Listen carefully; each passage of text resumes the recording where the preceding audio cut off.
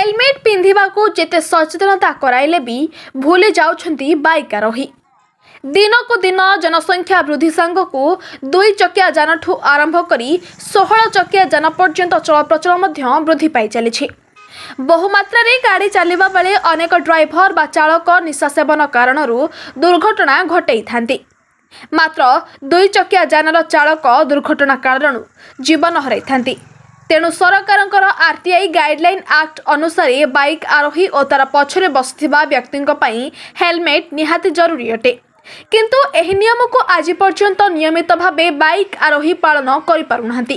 ସେଥିପାଇଁ ବିଭିନ୍ନ ସମୟରେ ହେଲମେଟ୍ ବ୍ୟବହାର ପାଇଁ ସଚେତନତା କାର୍ଯ୍ୟକ୍ରମମାନ ପ୍ରଦର୍ଶନ କରାଯାଉଛି।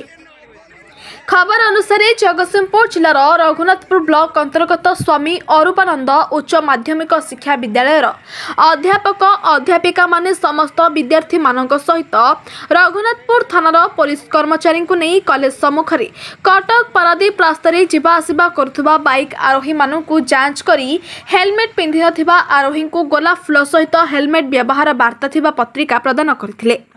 ଅଧ୍ୟାପକ ଅଧ୍ୟାପିକାମାନଙ୍କ ମଧ୍ୟରେ ସୁକାନ୍ତ କୁମାର ମହାନ୍ତି ରମେଶ ଚନ୍ଦ୍ର ସାହୁ ବାସନ୍ତୀଲତା ସାହୁ କୁମୁଦିନୀ ଦ୍ୱିବେଦୀ ପୁଷ୍ପଲତା ଦାସ ସକ୍ରିୟ ସହଯୋଗ କରିଥିଲେ। ଏହି ଉତ୍ତମ ସାମାଜିକ କାର୍ଯ୍ୟ ପାଇଁ ବହୁ ବୁଦ୍ଧିଜୀବ ବରିଷ୍ଠ ନାଗରିକ ରଘୁନାଥପୁର ପୋଲିସ ସମେତ କଲେଜର ଅଧ୍ୟାପକ ଅଧ୍ୟାପିକା ଓ ଛାତ୍ରଛାତ୍ରୀମାନଙ୍କୁ ଶୁଭେଚ୍ଛା ଜ୍ଞାପନ କରିଛନ୍ତି। ଜଗତସିଂହପୁରରୁ ଭାଗବତ ପ୍ରସାଦଙ୍କ ରିପୋର୍ଟ ସମର୍ଥ ନ୍ୟୁଜ୍ ଓଡ଼ିଶା।